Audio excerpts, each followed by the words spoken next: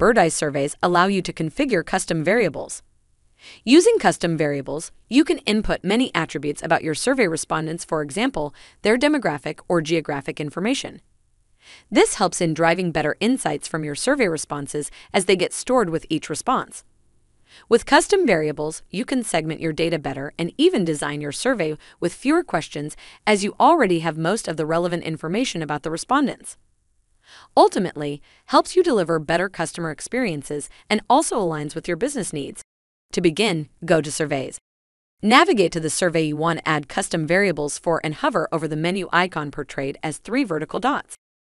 Click on the Actions button and select Distribute from the drop-down list. Now click on the survey link. In case you have multiple business locations, then click on the drop-down button and select the desired business location you wish to use custom variables for. Under the Survey Link section, you will view the default survey URL. To add custom variables to the survey URL, click on the Use Custom Variables. We will use these custom variables, such as variable name and label, to define the parameters you want to track. For example, you might want to track a survey that includes parameters such as order ID and transaction details. Provide a variable name mandatorily prefixed with an underscore sign.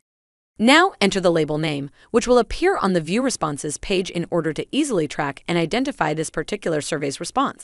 In case you have multiple variables to include, just click on Add Custom Variable and repeat the process. After you click on the Save button, the URL will be updated under the Survey Link section. Click on the Copy Link button to copy the updated URL and send out your survey using custom variables. Finally, when responses are captured, you can view the label names displayed under the contact information.